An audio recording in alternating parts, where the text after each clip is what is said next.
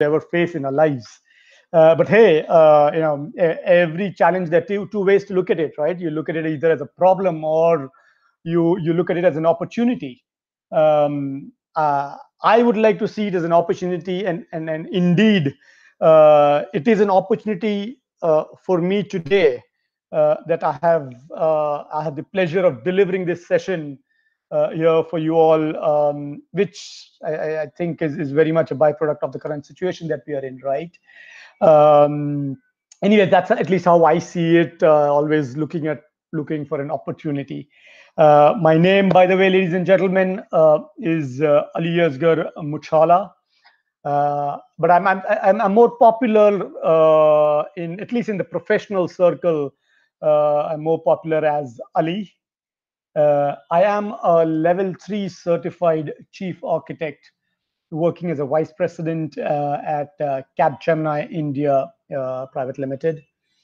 Uh, I am based out of Mumbai, uh, have over about 20 plus years of experience. Um, and the, during this time, I've had the, the opportunity to work with several of our global clients um, to help them design and architect their uh, digital and cloud transformation uh, journeys. Um, today, I'm going to talk to you about microservice architecture. Uh, something I'm sure uh, you've all, uh, uh, a lot of you at least, have, have heard about in the past. Um, some of you may have also done a lot of research on this topic uh, or may have even got uh, you know hands-on experience might be actually uh, working on it on, on a regular basis um, and it's, it's and i agree it's it's, it's not really a uh, I would say a new topic uh, or a new trend uh, in, in, that sense, and and definitely not in the context of the rate at which technology has been evolving these days. Right? It's it's so so microservices have been around for um, three, four years, uh, three to four years at least, uh, I, I, think, and uh, it's quite a long time actually. Um, but surprisingly, you know, in, in spite of it being around for three, four years, um, I can tell you uh, few organizations have actually got it right, um, which is why I actually chose this topic for for today's uh, presentation, and and, and uh, that's what we will try and cover today as well. Uh, you know, in terms of what are those those those design considerations, what are those uh, best practices um, uh, or even anti-patterns you know around microservices architecture that helps it that makes it work for for organizations. So we will cover that in today's topic. Uh, but before that uh, uh, we will first start with a bit of bit of history you know how software development evolved from mainframes to microservices. Um, and that's important why um, you know, uh, I, I, want to cover that. So so we will start with that. We will then also um, touch upon a very a, uh, a very contentious uh, topic on uh, SOA versus microservices. It's, it's, a hugely popular debate. You know, any any article you see online um, uh, on microservices, I'm sure it will uh, touch upon this topic um, as well. Uh, and my session would really be incomplete if I don't talk about that. Uh, SOA versus microservices uh, differences. So I will share my perspective um, on, on that as well. And then uh, lastly, as I said, we will touch upon some of the notions, some of the design considerations um, that are relevant, that are uh, important to, to make microservices architecture work for you. Uh, towards the end, uh, I do intend to leave some time for Q&A. Um, so I believe a Google Sheet, a Google Forms link has been shared with you. And uh, I would uh, request you to please start posting your questions there as as as we progress along in the session. Um, and then as as I get a chance, uh, you know, I will try and answer some of those questions as well. Okay. So let's, uh, as I said, let's let's spend a, a few minutes into the past, right? The history of software development. Um, as I said, you know, we'll start with with the mainframes. It was the 80s, you know, 1980s. uh, where software development was all on mainframes. Um, uh, back then, the rate of change was very slow, right? IT was never into mainstream business. It was always considered a back office function. Um, and it continued that way for many years, you know, many years until uh, desktop desktop PCs or personal computers were, were were invented, right? This is around the early 90s when when with the advent of desktops and, and PCs, um, which actually then gave rise to client server technologies, you know, you know 4GL, fourth generation language uh, language uh, uh, like like like uh, Visual Basics and Power Builders, etc., flourished um, as it as as uh, not only it provided a very easy way to build applications through drag and drops and stuff like that, but also give a very uh, easy, uh, you know, good looking look and feel, uh, refreshing change in terms of the look and feel for the end users as opposed to the you know, green screens offered by mainframes.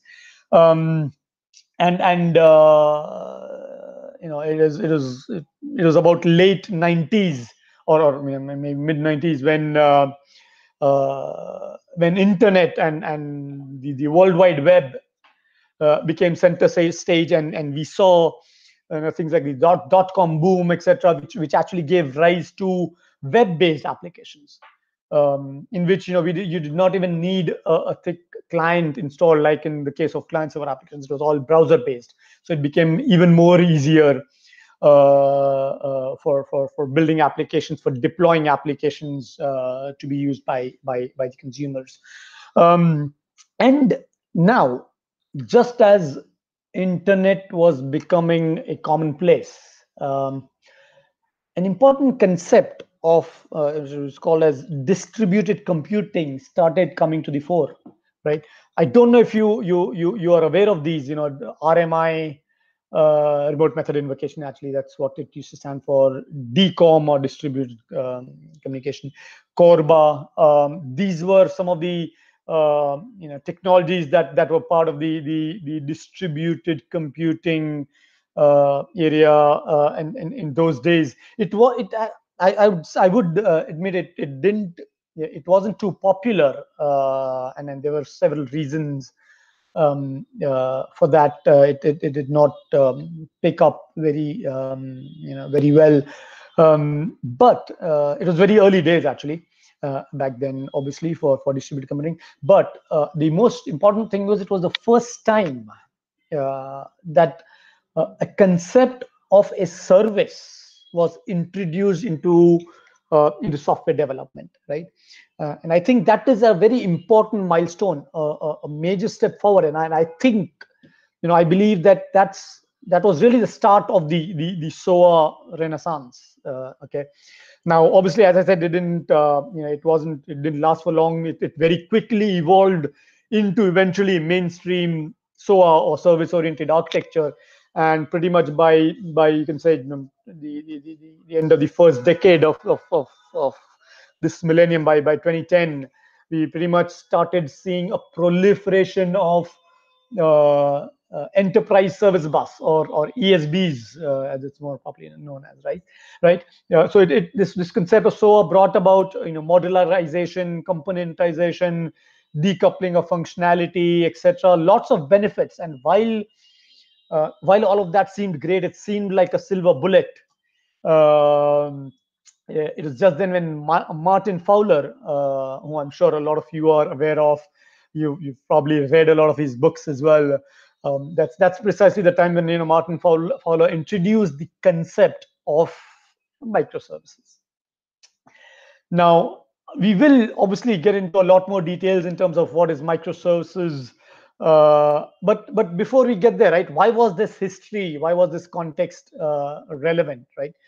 The point I'm trying to make, the point I want you all to realize, um, you know, uh, uh which is um, apparent in, in across this entire uh, journey, right, across this entire evolution, is that with every change that that that happened, right, every new uh, technology that was introduced, um, the primary driver over there was uh, business agility.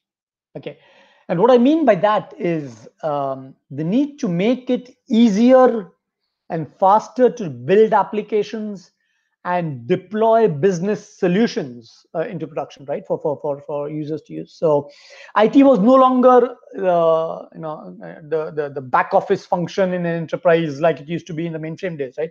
IT was now becoming an enabler for for implementing the core business functions of an enterprise, right? So.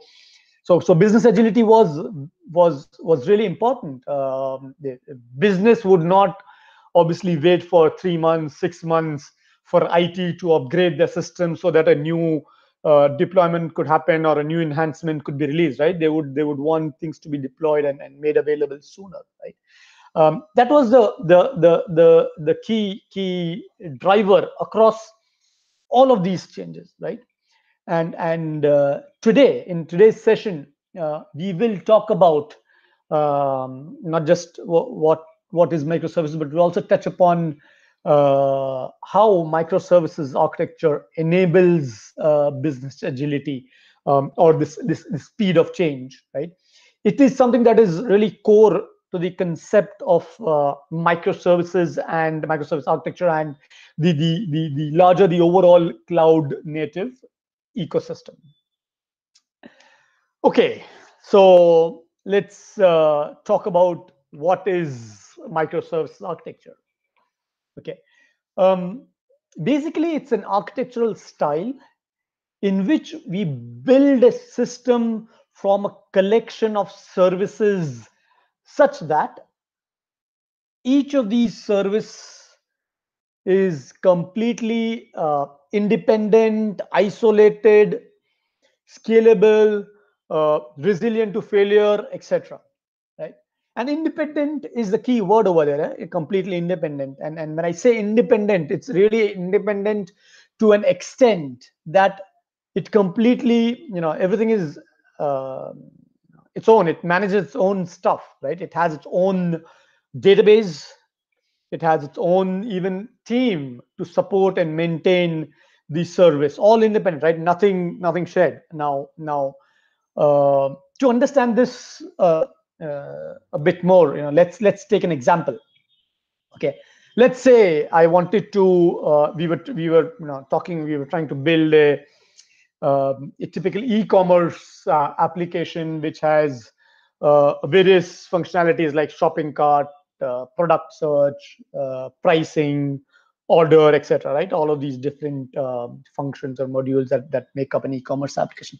Now, if this was this application, if this application was developed using the traditional uh, monolith uh, as as a monolith application, right, we would typically have had one big application consisting of a, a, single base framework, uh, underlying framework upon which each of these modules uh, like shopping cart, product search, etc., would all be developed on top of this base base architecture-based framework. Uh, and each of these would be very tightly, by, by virtue of all you know extending from the same framework, it would all be very tightly coupled into this this this one single app, um, right? Um, we would also have one single database, you know, a master database, uh, which has most of the tables specific to your customer, product, order, everything uh, you know uh, combined into a single master e-commerce database or whatsoever that would be specific to that application uh, uh, everything or this entire all of these functions modules would all typically get packaged built into a single uh, distributable or a binary file right whether it's an ear file or, or a msa file or an exe or but, basically one binary that gets deployed uh, because of which also the release cycles um, for each of these modules have to be uh, sort of aligned. So, so what I mean by that is, let's say if I was making a change in the shopping cart um, uh, functionality, right? And let's say I, I, was done with my change. It was a quick change, small change. I, I made my change, and I'm ready to test uh, the change. But I cannot move to um, to to SIT environment uh, because maybe the the product and the pricing and some of the other teams are still not done they're still not ready right so the entire thing has to be packaged together to be built together and and and shipped into production uh, and then typically there would be like also like one big team involved in building and supporting this and this entire application. So so if you think of it right when you, this kind of a scenario it's almost very rigid almost very like you know moves at its own slow pace right? It's like uh, having a white elephant right? It, it, it can't be agile. It can't uh, uh, be something that will uh, change that can that can change very quickly? On the other hand right if i was developing this using microservices architecture right uh, no, no, no. Go back to the, to the definition, right? We are now talking about uh, my, what is microservice architecture. Each uh, application uh, comprising of several services which are all independent of each other, right? Uh, uh, independently deployable, etc. So, if I would build it using microservices, each of these business function, for example, right? Shopping cart is one function, product search is the other function, pricing is the third function. Each of these would be developed as a separate service, pretty much, you know, in a separate application by itself. Each one, think of it as a separate application. Shopping cart is like one application. Product search is like another mini application. Now, uh, when you, when I say application, uh, it, it has its own architecture, its own code base, its own its own database. Um, uh, you know, each because I say each one has its own architecture. I also have the uh, the the independence of you know choosing what I what architecture, what technology I want to use for shopping cart versus what I want to use for product search, um, etc. So so in that sense, uh, it's it's it's fairly you know independent uh, that way uh, each function also package into its own binary separately, right? It's it's you, know, you have a shopping cart EAR file or product search EAR file. So all of these services package into its own library, um, and also uh, each service has its own dedicated team, typically, right? That manages and builds that particular service. Now, this sort of a modularized, independent way of building applications uh, gives you complete freedom, complete freedom to deploy your changes at each micro application level uh, without have to having to worry about some of the you know what the other applications are doing. So so unlike earlier, right? In this case, if I was done with my change in the shopping cart service, I could go ahead and you know start testing it, validating it. I would go ahead and de deploy it as well, ship it to the next environment, without having to worry whether uh, you know the order service is ready or not. Now that's independence, right? That's business agility, what, what the, the, the business really seeks for, right? Um, and to be honest with you, it's not just about that uh, that freedom from those dependencies between those other applications.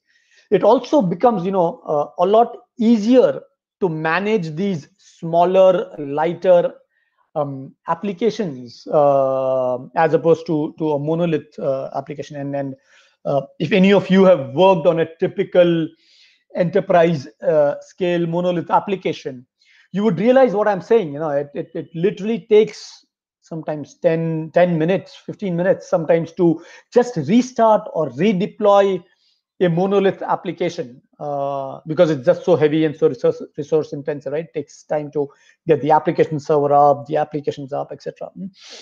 And when I say it's 10 minutes to restart an application, basically what we are saying is it's 10 minutes of outage, right?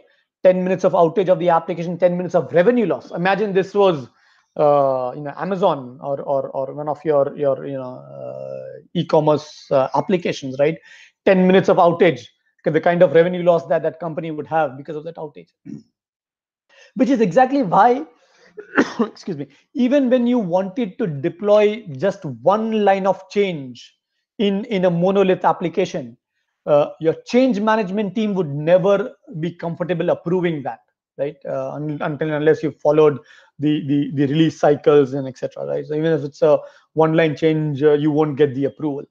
Whereas in the case of microservices right it can almost happen seamlessly you know thanks to um, the, the the complete cloud native uh, ecosystem. And we'll just come come to that um, in, in, a minute.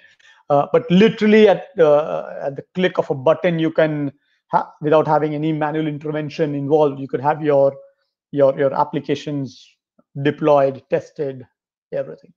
Okay, so that's it, what microservices architecture is in summary, and that's also how microservices architecture uh, facilitates or provides uh, this uh, business agility in your systems. Okay, okay. So we now uh, sorry about that. So we now move to the all important, uh, you know, uh, debate on on on uh, SOA versus uh, microservices. Um, but before we get into that uh, comparison uh, with with SOA versus microservices right? I want to look at the formal definition of microservices architecture. What does the what are the the the, the experts uh, uh, how are they describing microservices architecture as so again let's go back to martin fowler right? He's he's the the, the, the, the one who who introduced the concept of microservices you know he's considered the father of microservices. And he says you know if you go to martinfowler.com um, this picked up from there uh, microservices architecture is basically about designing applications as a set of independently deployable services. Independently deployable services.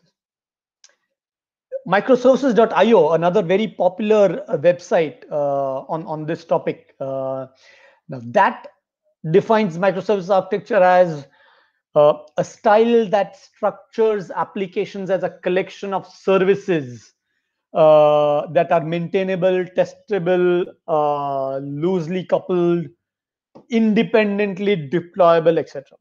Okay.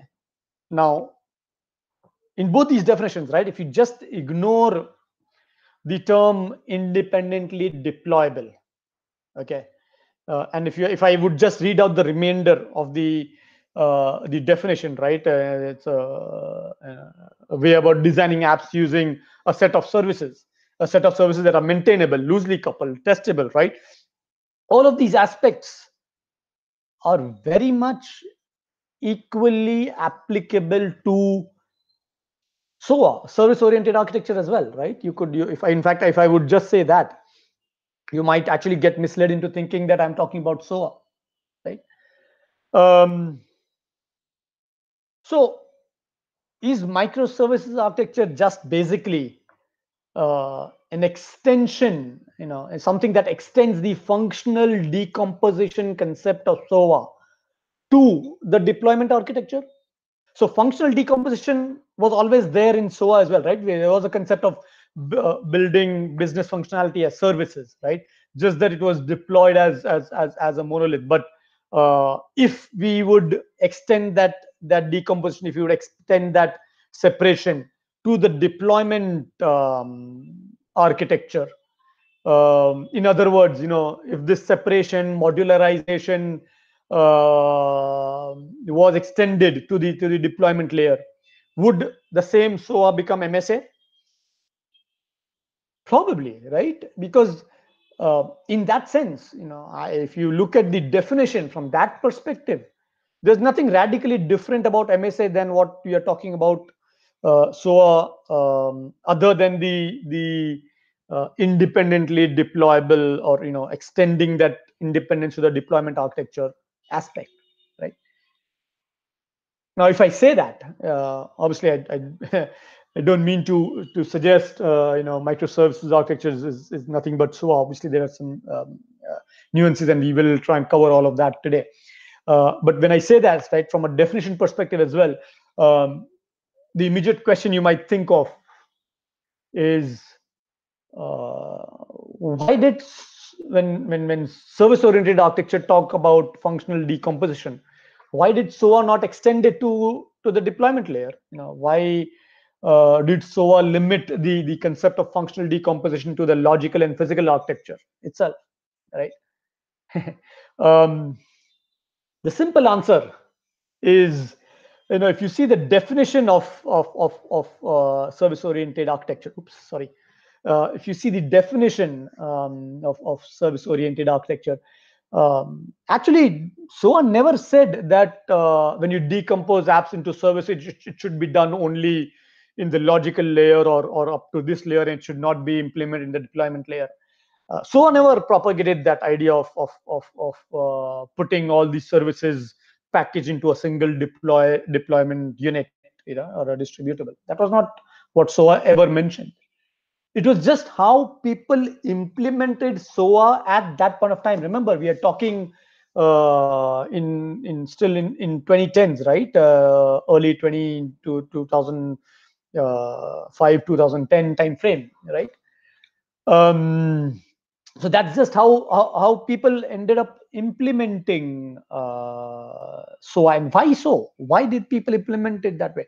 Because in those days um, cloud technologies weren't that popular. It wasn't center stage uh, uh, you know anyways. There was no uh, uh, things like you know, devops and and the whole concept of ci cd and build test deploy automation etc that we see so popular today. That weren't very common uh, then. It was just being you know talked about just being introduced at, at, at that point of time.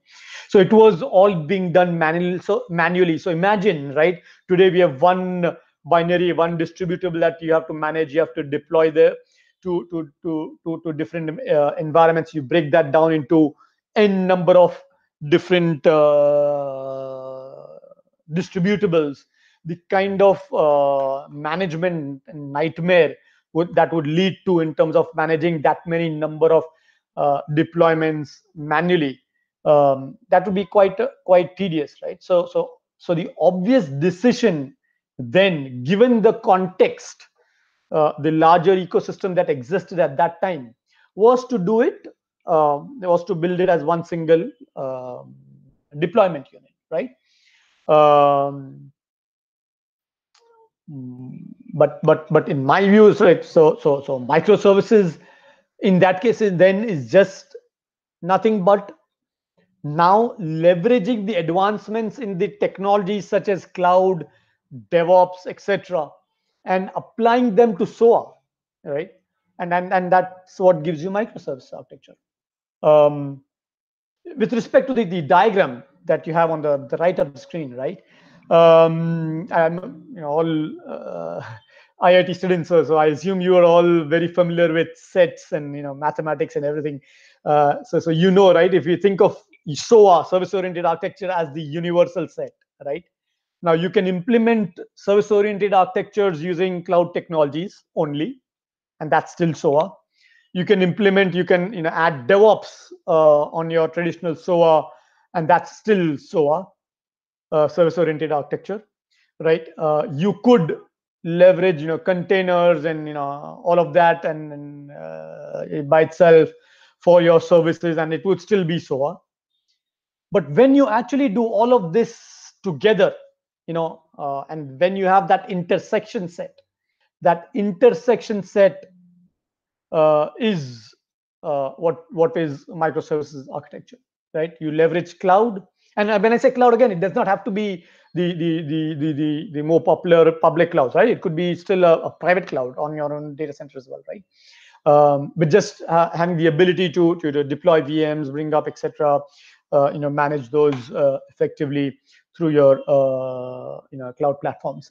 Um, so so so you leverage cloud, you deploy those clouds on containers so that uh, it's completely independently managed you know though each of those instances can be uh, independently managed the the you have the concept of agile and devops uh, to have small sized um, you know, sprint teams um, uh, which are supported by the automation of you know builds and deployments by virtue of having the CI/CD implemented, etc.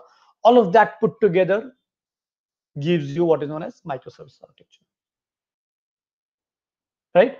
Um, so remember one thing, okay, although it may not be explicitly stated anywhere, okay, to have a true value of microservices architecture, it is, um, you know, uh, uh, uh, um, which, which obviously the true value of microservice architecture is, is really in, in extreme business agility, right? That's, as I said, that's the main driver.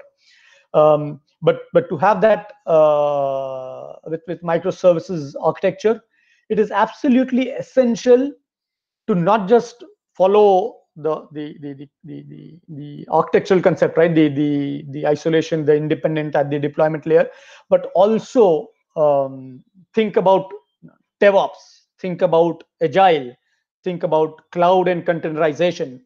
Uh, and if you do all of that you know that's what will ensure that your project is a success. Okay i've seen many uh, implementations of microservices wherein uh, yeah they're talking great things in terms of architecture and technology but end of the day they're still following the traditional rup based methodology for software development. Uh, so they'll never see the benefits true benefits or the end-to-end benefits of of of the business agility that that microservices has to offer okay so that's uh, anyways my views on on on microservices versus soa right? It's it's uh, um, uh, you know, it's it's an extension of the uh, the the the uh, layer the the independence uh, the the deployment to the deployment layer extension of the the functional decomposition to the deployment layer. And it is also basically taking advantages of the technology advancements in cloud and in, in, in, DevOps, etc., along with SOA, which, which basically makes um, microservice architecture. Okay. Before I move away from this topic, I just want to leave you with this, um, you know, one uh, thought uh, I have. Okay. Um, you you may you may uh, you may you may have this question based on what I just said on the previous slide, that if it was just a you know if microservices was just an evolution of SOA, you know just just uh, applying some of the the the the benefits of cloud containerization agile devops to soa that's what was msa or or rather microservice architecture. Why did we bother uh, with a new trend a new jargon? Why did we not call it just soa 2.0 or something of that sort right? I don't know. So i i i cannot answer that question if if, if at all you're thinking on those lines uh, because I do think about that. I was I do think about uh, it. You know, why did we not call a, it just SOA 2.0? But uh, it's just a food for thought for you. Okay, I I will not. I cannot answer that question, right? I you you probably need to uh, raise that question with with, with Martin Fowler. He invented this this this concept, this term. Uh, but I will leave you with one thought, though. Okay, uh, if you take the analogy of cars, right?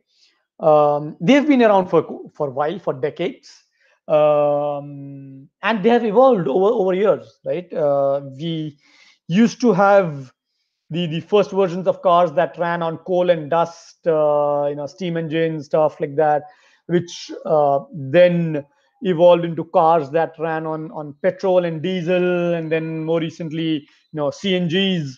Um, uh, and then and now we are talking about cars that will run on electricity okay? So as the fuel and energy domain uh, has evolved uh, and we've seen transformations there the the automobile industry the cars have adopt adapted to those evolutions and and and, and embraced some of those um, trends into uh, into their product. Uh, but still we call them cars right? We don't name them differently so I don't know whether uh, you know it's it's uh, it's really microservices architecture. Is it you know SOA 2.0, 3.0, whatever. Anyways, we will just leave that argument there. Uh, it, it you know anyways does not matter as they as they say it right. What's in the name?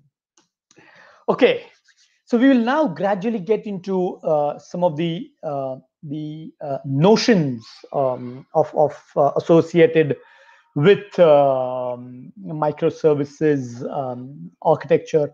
And um, so and, and and while you know i spent the last few minutes talking about soa versus microservices architecture um, in reality if you ask me right when we talk about actual implementations these both also go pretty well hand in hand in an in an actual enterprise landscape. And that's what we would actually recommend. Okay, so SOA service oriented architecture provides uh, an easy way to manage your message transformations, is resilient. Uh, so in, in that sense, it's really an ideal technology uh, for for implementing inter-application integrations. EAI, for example, right, enterprise application integrations, would be a perfect uh, case for for uh, to, to be implemented using an, an ESB, uh, enterprise service bus sort of a thing. Okay. However, okay, when you talk about these applications that the ESB is integrating, if you zoom into one of those applications and you typically look at the architecture of that application per se. Now, into this application, generally, you would see uh, cases where you're seeing, you know, frequent changes, enhancements, upgrades, etc uh, that keep ha happening um, the, you know, by virtue of the business uh, uh, wanting to make changes, um, etc. Uh, in order to support those, those, business agility, you will have those um, changes happening, and and to to to enable that is business agility. Uh, it would be ideal to use microservices architecture at that application layer. Okay, so in that sense, you know, both ESB and your your uh, you know more traditional the, service-oriented architecture and microservices architecture uh, can and in, in in in in many cases should coexist, uh, and and that's really um, something that that works very well uh, in an in an enterprise scale uh, situations. Um, another very interesting question that often comes up uh, in the context of microservices uh, is uh, how small does a service have to be to be to be qualified as a microservice right? And i i, I can't blame you know uh, anyone asking that question because it's it's how we've just named it right? You already had a concept of service right? And then we introduce a new concept called microservice. So our obvious assumption there would be that microservice is something that is a very micro version of a service, right? Or a small version of the service. And when we say small, right? How small? Uh, how small should it be? Uh, and in, in software uh, parlance, right? When we say, when we try to measure the size of a, of a software, what sort of metrics do we use? We use lines of code typically, right? Uh, there's, there's these many uh, thousand lines of code, etc. And then, and honestly, I have actually, uh, uh, you know, been asked this question, right? okay, uh, up to how many maximum LOCs or, or lines of code, right? Is it possible to have in a microservice? Okay. In that context, I will tell you size does not matter. Okay, uh, so it does not matter how many lines of code. That's that's never the the right yardstick um, to to be used. Uh, the the ideally ideally okay the the only thing that matters is what does that microservice do? What is it doing? You know uh, when you're building a microservices, and that's where the concept of single responsibility principle comes in right? Each microservice should be designed in such a way that it performs one function and only one. It's only one single responsibility that it has. So if the function is to provide shopping cart uh, capability that's what it is. It should not bother about order orders. It should not bother about uh, products um, or any of those uh, functionalities right? Um, uh, and and and yeah and and, and you know if if really uh, as long as you you you follow that one principle one single responsibility principle for for microservices um, irrespective of of the size irrespective of whether it you know had you know 20 lines of code or or you know 2000 lines of code it, it that's that's fine. I don't think that's a problem. Uh, the only other uh, metric uh, i've seen uh, uh, and i've seen people use uh, is in terms of the team size required to build and maintain uh, this service. Okay, um, and Jeff Bezos, uh, you know, who heads uh, Amazon, right? He he once said it, right? A good yardstick is is the two pizza rule. Is two pizza rule, right? Uh, uh, a team, you know, you know, if it exceeds beyond a point where where you need more than two pizzas to feed the team, feed that team, then you know uh, it's too big a team and you know it's too big a service that you've you've packed uh, into one microservice so, so you probably need to talk about uh, further decomposing that right? Now now obviously you know i know you know it, it all depends on how hungry hungry the team is.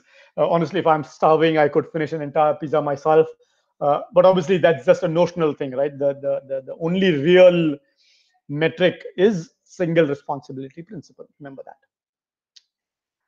Okay. Um, the next point uh, that I want to I want to talk about in the context of microservices around technical debt and and and how the the polyglot architecture of uh, microservices helps eliminate that. It's a very important topic, right? And I think we we we we also touched upon it uh, when we took the uh, or the um, when we when we talked about the the definition of microservice and we uh, tried to explain that example let's go back to the example right let's suppose we were uh, uh, going back to that e-commerce application that we were trying to build right now if i was de developing that again as a monolith right i as i mentioned i would have a base framework defined or a, technology decision made uh, upfront and as part of that that that very first phase of the project. Uh, let's say i decide that i want to build it using java j2ee right? That decision is made okay. Then when i implement pricing shopping cart orders etc all of these functionalities on top of that base architecture they all have to follow that technology. They all have to pretty much inherit that those technologies and, and follow that framework that base architecture right? Um, uh, I, I cannot have let's say shopping cart built using uh, Java and and, and uh, order built using uh, .NET. Okay, now now the so so that's that's uh, you know you're stuck with with that technology, right? That's that one that's one aspect um, of of the technical debt. Um, also, you know, um, I will I'll mention about another aspect, right? As time goes by, by virtue of having this this one single base architecture and all right as as you build this application as time goes by we we keep adding more and more functionality enhancements etc to this application. And uh, over a period of time right it makes the entire code base very patchy uh, right? And, and and and when i say that i say that because for every new feature right if, if it's a big feature if it needs a change in the in the base framework itself right often it may not be possible uh, to to make that change uh, right because it may have um, far-reaching impacts right? It may impact the entire uh, all other modules and and and you may need to uh, do complete end-to-end testing and you may not have as much time. So what do you do? You end up going around with a going going about with a workaround fix which is not clean which is not ideally how it should it should have been done. But given the the situation given the the you know um, you have to fix it quickly you try and do a quick patch. You do a try and do a, a workaround fix and over a period of time all of these patches sort of make your code really messy right uh, and eventually when there is a, a, a big change coming up you end up having to first refactor the entire code, do a, a full full blown cleanup, uh, you know, which is an application wise before application wide cleanup before you can even start think of implementing that fix or that project. Right? And that is what is really uh, te technical debt, right? And then and, and as I mentioned in the first case also, right? Like uh, you know, each each for each functionality you've you've decided the technology. Tomorrow, let's say I say I want to add product recommendations as, as a new feature in my application. Now, product recommendations, which uses some you know really smart AI algorithm, uh, which I've developed, uh, which can look at the customers you know buying patterns and age and all those other fantastic things to come up with what could be uh, a good recommendation for this specific customer. And I've written some some of those algorithms or whatsoever AI algorithms in in Python. Uh, what do I do? I cannot use that because I, I, I cannot integrate that into my e-commerce application, right? That's that's a challenge because of this technical debt. Think of it on the other side of it of the story, right? If it was microservices architecture, each service, as I said, is a separate application by itself, right? You could choose whichever technology I want to uh, and for each of the service, right? There is no constraint. um, and hence there is no no no technical debt and this exact this concept of being able to choose uh, the the kind of technology the, the appropriate technology for that specific functionality is what is known as poly polyglot architecture right and this polyglot architecture enables you to eliminate technical debt which is a very very important and critical aspect okay? Uh, companies today you know if you ask any it operations head okay they will tell you this they end up spending significant amount of money in trying to deal with this technol technical debt okay? Um, so so so microservices architecture has has a significant advantage uh, in that sense as well okay i'm going to try and uh, go through this a little uh, quickly now. Um, uh, a lot of these points have been covered in some of the earlier uh, slides as well but i do want to leave some time for q&a so quickly uh, you know uh, we did talk about the isolation part the independence part right? The important part is having this isolation implemented at every layer. The logical architecture obviously you have your different components uh, independent uh, you know each each module uh, designed independently in your architecture logical architecture. When you talk about physical architecture your code base you know is, is again separated in almost you know you even have your separate code projects and and and and and, and uh, source code repositories for each uh, each application or each each functionality uh, for each microservice actually and um, not just logical, not just physical, even deployment architecture, right? You build it, package it. We have we've talked about it a number of times. Um, also, isolation at the data layer. So, so uh, you know, each microservice having its own database. I use, uh, I may use, and when I say database, it's not just you know uh, separate tables. Huh? I'm talking about proper database services. In fact, I could even have a scenario where I've used an RDBMS like MySQL or Oracle for uh, or uh, for for product search for product uh, microservices or order microservices, but I'm using let's say uh, uh a NoSQL database uh, for like like Neo4j or you know, MongoDB or whatever for pricing service. I mean that's possible. Okay, and actually this part, the data level isolation is also a very tricky part. Okay, um, which I think has to be handled carefully. Because think about the scenario where uh, uh, you know you, you, let's say you're creating a report, you know, uh, which obviously obviously you you need in, in such applications, um, and in that report you'll obviously want to you know join across all of these different uh, tables to get a holistic view, customers, uh, orders, products, etc. Um, if you end up breaking these all into separate database servers, database technologies, even how do you do that? Right? That becomes a challenge. So there, there, there are obviously patterns. There are different uh, approaches you could take uh, towards that. For this particular case specifically, you know, you you should look at have, having a separate uh, reporting database, whether it's an enterprise data warehouse or something which is kept in sync with your CRUD databases, your primary databases, and you've done your reporting out of that. You never run your reporting out of your core microservices specific databases. So that sort of uh, you know patterns are obviously um, uh, there which which should be leveraged when you talk about uh, these uh, challenges associated with this isolation. But but remember it is something that um, we have to uh, look at doing at every layer.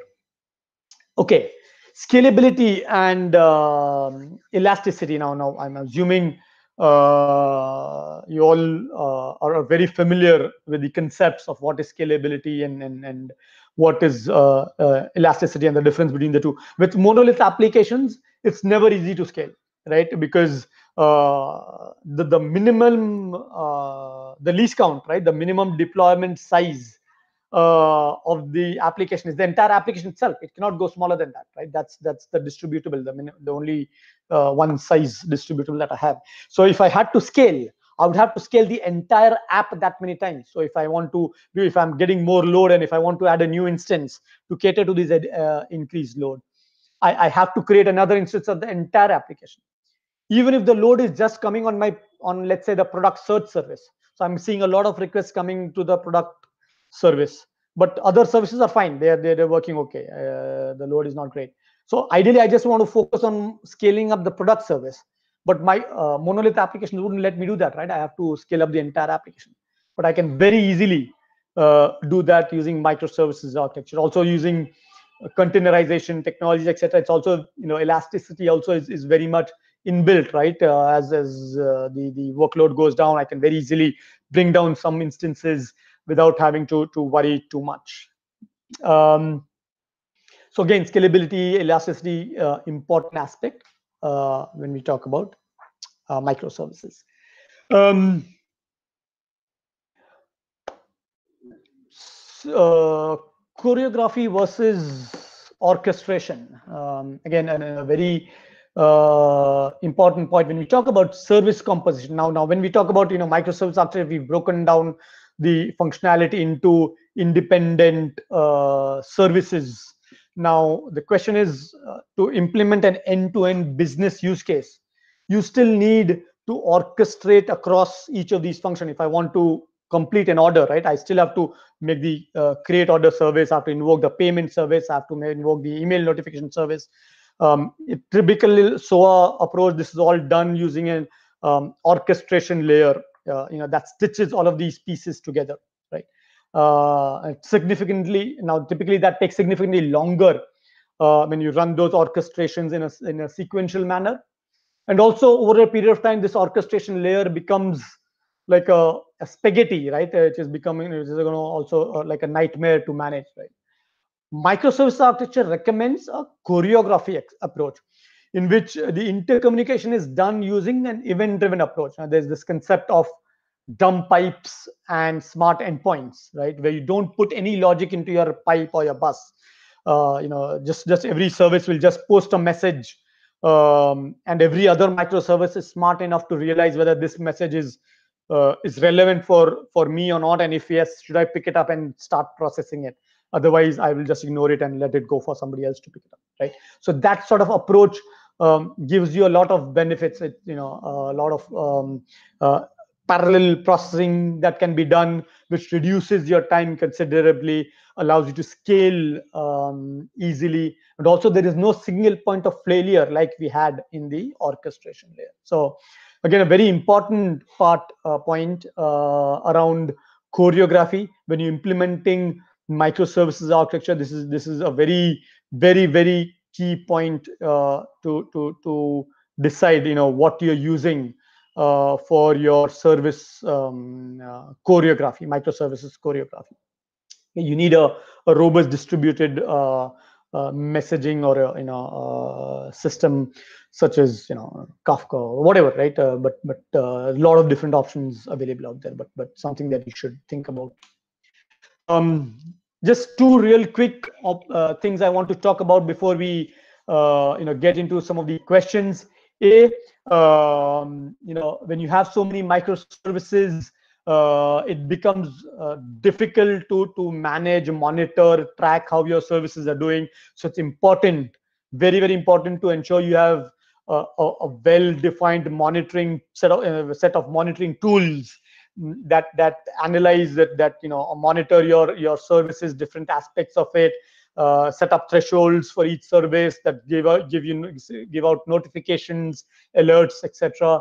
Uh, and there are several uh, tools available again, Nagios, you know, AppDynamics, Dynatrace, etc. Um, you you really need to, or, or you could even create your custom dashboards using Elastic Logstash and Kibana stack and stuff like that. But but it's really important you sort of set up uh, a control room that gives you uh, this this observability of your microservices. And also likewise you know when you have so many microservices it's important to know where your microservices are. When i say where your microservices are what i mean by not in terms of you know literally where but uh, in terms of you know uh, how where are they deployed right? What are their endpoints? Because as i said you know with scalability you you you bring up new instances of your microservices or you bring down new instances of microservices.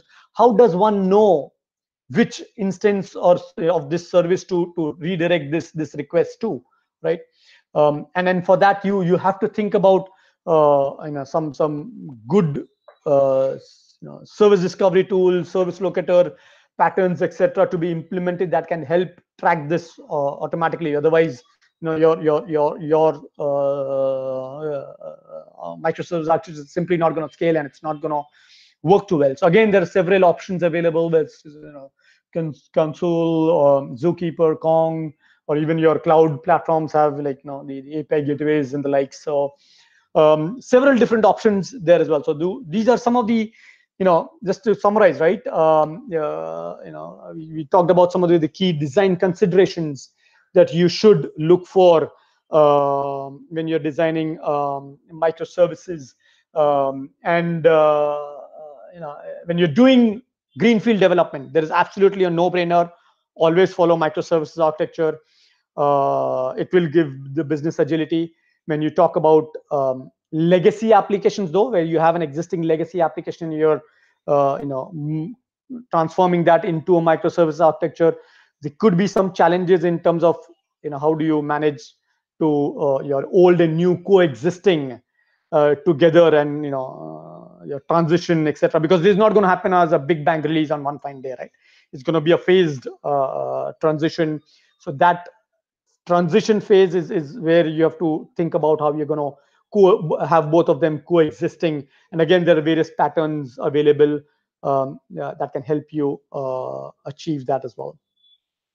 Um, uh, there are some implementation options. Again you could follow pa- you know PaaS based uh, you know platform as a service that are available from cloud platforms. You could use you know container orchestration tools like kubernetes etc uh, or you could also use faas functions like you know, you know aws lambdas and azure functions and stuff like that but again um, that's that's a, a completely new topic uh, i just wanted to uh, leave those options out there uh, things that you can consider when you're implementing uh, microservices architecture okay so with that I am going to um, uh, get into, oops, sorry, uh, give me one sec.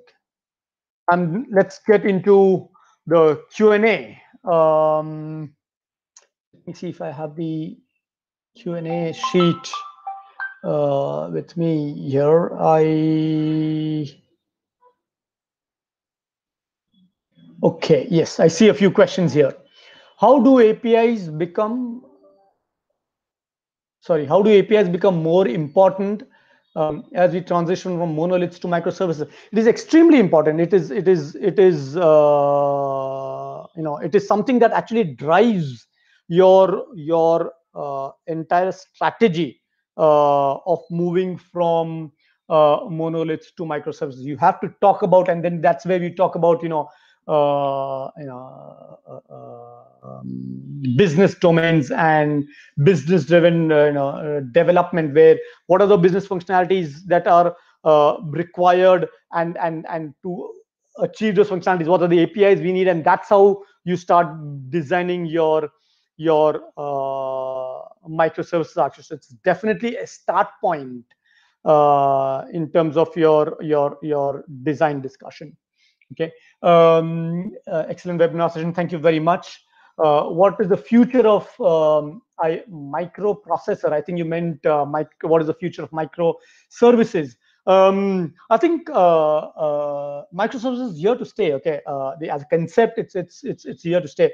In the future of microservices, I think it's going to evolve in terms of how we um, automate a lot of these things. So I went through a lot of concepts. You might think that you know I have to think about 200 different things when I try to build microservices. There are various um, uh, platforms, various uh, frameworks available in the market uh, today. Know, Flocker uh, is is one such uh, tool. Uh, Flutter, another technology. Cloudlets. Um, these are some of the advancements. Um, you know, serverless architecture by itself, right, is something that uh, would be uh, future uh, i won't say future of microservices but you will see ways in which microservices will be more and more of your microservices will be implemented in future okay rather than it being all bare bones microservice where a developer or the, uh, the the the the project team has to think about all of these different aspects so uh, that's the uh, you know in terms of the future view of microservices um, we're working on a project. We're trying for a wristband. We need to get data from GPS, send it to uh, cloud. Can we do it? Of course, yes. I don't see any challenge. I don't know. Uh, um, of course, uh, if you're using uh, if you're using devices, especially mobile devices with, with, GPS and GSM technologies, um, I would suggest looking at Flutter as as an option as a, as an option for uh, you know as, as a platform as well. It's it's something that was um, introduced by Google recently, so that might actually be a good thing for you to to to look at. Uh, but uh, thank you for that um, for that question. How ready are enterprises to to move uh, to build to their applications to microservices architecture? Oh, um, I've seen. Uh, I think if I talk about the current situation, uh, all, almost every organization, every CIO that we talk to uh, wants to go this route. They understand, they realize that this is the answer to the business agility uh, need, uh, you know, of their enterprise, and and and definitely uh, something that uh, every CIO is um, is is uh, very keen to implement. Of course, there are flavors of microservices. As I said, you know, in some organizations we see there's a PaaS, and we end up implementing microservices on a on a PaaS, uh, like OpenShift or, or or you know, Pivotal Cloud Foundries, etc. In some cases, we're doing it in terms of serverless, etc. So those vary, but definitely there is a lot of um, uh, opportunity we're seeing uh, on on microservices. Uh, what advantage do enterprises and businesses see if they're building applications? Micro, I, I, like I said, business agility. That's that's the core advantage um, with with, with uh, microservices. Um, will this um, pandemic uh, in the current situation can affect the recruitment of engineers after four years? I think this is not a topic related to to microservices. I'll, I'll take a pass on this as of now. Let me try and cover. I know we're running a bit over, so let me try and focus on some of the other questions that are more pertinent to the topic. Uh, does each microservice contain its own UI? Very, very good question. Very good question. Thank you for bringing that up. Uh, and from a service perspective, uh, no, uh, you know, you, are talking about more from an API perspective, functionality perspective, which is not uh, also uh, linked with the UI, because again, UI can be uh, channel specific, right? You may have a service which gives you the functionality. You may want to invoke that same service from your mobile app. You may want to invoke the same service also from your web channels, etc. So, so it's it's really the API. But for UI, for a, from a from a UI side, there is a concept of uh, micro UIs. Also, specifically, if you look at it from a from an Angular JS perspective, it is possible to to to implement uh, that isolation at, at, at, different functionality levels as well. So so do do look into that topic. It is definitely not packaged into the war or ER file. That's not something that I would recommend uh, how to develop implement uh, in um, application in J2E framework uh, in NetBeans, the microservices, and send me lecture so I query later. Okay, I think this is more about the development environment, uh, setting up the development environment for building microservices. Of course, you could use NetBeans. You could again, it's it's end of the day, you're building, you know, Java or .NET or whatsoever it is, basically functions, right? You're de developing uh, services which which would then you know just uh, get deployed into separate um, uh, applications by themselves. So I, I don't see any difference in terms of uh, your your your development and environment setup as such um, for this. Um, can microservices be stateful? Uh, good question. Uh, thank you for bringing that up, and I, I realize I didn't touch upon uh, this aspect. It is not a uh, it is not a recommended practice. It is not a recommended practice to have microservices be stateful. They should be stateless. Okay, because that is what will enable you to be uh, to help uh, have uh, your uh, scalability distributed, etc. Because when you talk about state, you have to save it, and then you're saving it in your within your service to make that microservice itself stateful, that state has to then get copied into all of those different instances of microservices so that your next service request, if it goes to a different instance, you know, it might not get it. So definitely no, the state has to be externalized, whether it is you know externalized in your in your data layer or in your web layer in the form of a session, etc., is something that you have to decide depending on the kind of application um, and the kind of use case and the scenario that you are treating with. But definitely the the APIs definitely should be stateless. It, it should not be stateful. Um, great topic. Thank you very much. Uh, okay, just uh, about a few more questions. can any application framework is available which supports? I, I just named a few. There are plenty, right? Like I said, if you talk about, and again, depends. If you're talking about PaaS, right? Um, you get platforms uh, from different cloud vendors that give you some of these uh, horizontal cross-cutting concerns available, like your your your choreography. For the choreography, you have your messaging um, framework available, API gateways available, service locators, monitoring tools, etc. available. All of that available through the PaaS. Uh, if you use serverless frameworks, again, you know your, your cloud platform offers a lot of that.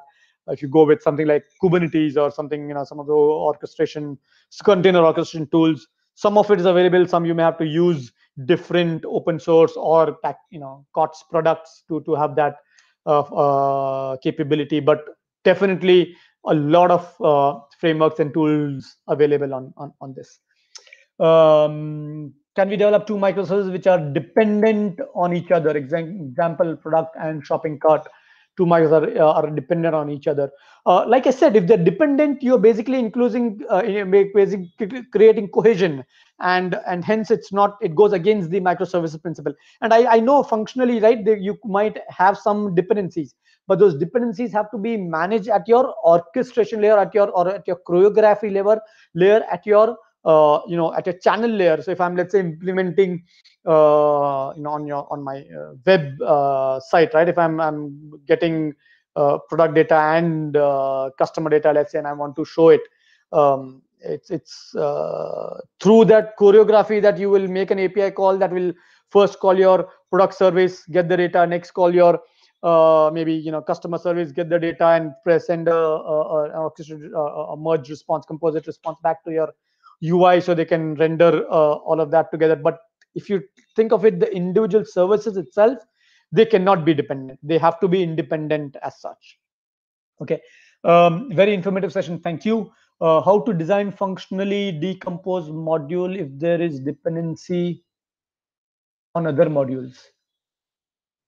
No, like I said, so I, I think I just answered it as part of the, the, the, previous question, right? You have to manage that through your choreography layer, right? And, and, and the example I gave, for example, even for the reporting, right? Reporting has to cut across layers. So then in that case, you have a separate reporting database. So they're different. It's never a, a you know, a, a, a, single solution that uh, that will apply to all cases. It's never a one size uh, fits all. Okay, it is very much case by case basis reporting, you typically have your separate EDW sort of reporting database, which is synced up in case of you know uh, websites, etc., where you're showing uh, multiple different data on on the same page. You have to manage it through through your choreography, etc. So so a lot of those like when you do an, an order, right? You have to do first create an order, then send notifications, etc. So it can easily be uh, uh, managed through service choreo choreography, right? uh, and and and that's how you would uh, stitch those those those uh, I won't say business dependencies, okay, not service dependencies. Okay, uh, that's how you would implement uh, those end-to-end business use cases. Uh, concepts try to make clear. Thank you um, small teams uh, how is composition of team yeah i touched upon the composition of teams i think i already mentioned that uh, like every microservice has a like you know a sp small sprint size teams very much uh, like like agile sprints right working on uh, specific microservice so, so you talk about things like pods right uh, so there's a the customer service pod there's a product service pod there's an order service pod and a pod is basically a set of you know bunch of sort of four, five, you know, or three or two developers, depending upon the the the the the, the, the scale or the the complexity involved, right? And that's about it, right? They manage that service. Uh, they are the whole and sole owners um, responsible for that particular service. Uh, very good session. Thank you. It was a good session. Thank you. How distributed transactions can play. Ah, transaction management. Thank you very much. Again, very uh, much something that is uh, managed at uh, choreography level. Okay, uh, again, a, different topic altogether. I would suggest I have, if you if you Google on on if you if you go to my LinkedIn profile, you know, Aliasgar Muchhala, I have actually published a, a post, uh, a blog on exactly this topic, like distributed transactions um, can be managed using microservice architecture.